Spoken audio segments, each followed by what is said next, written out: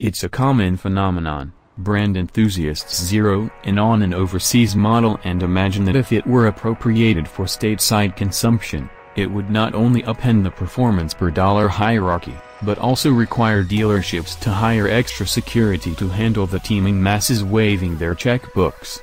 I'd be first in line. They say.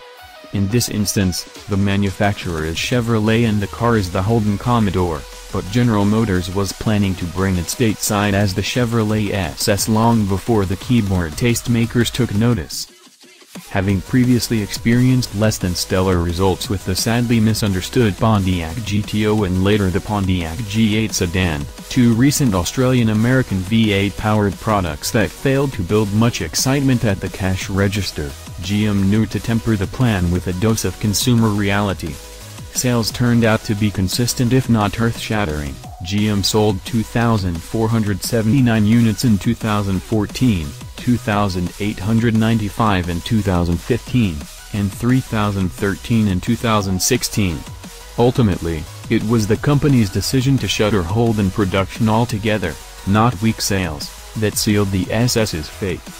Ordering for the SS concluded at the end of February, with Chevrolet dealers now selling off any remaining stock. Interestingly, Chevy sold 1,529 SS's in the first three months of 2007.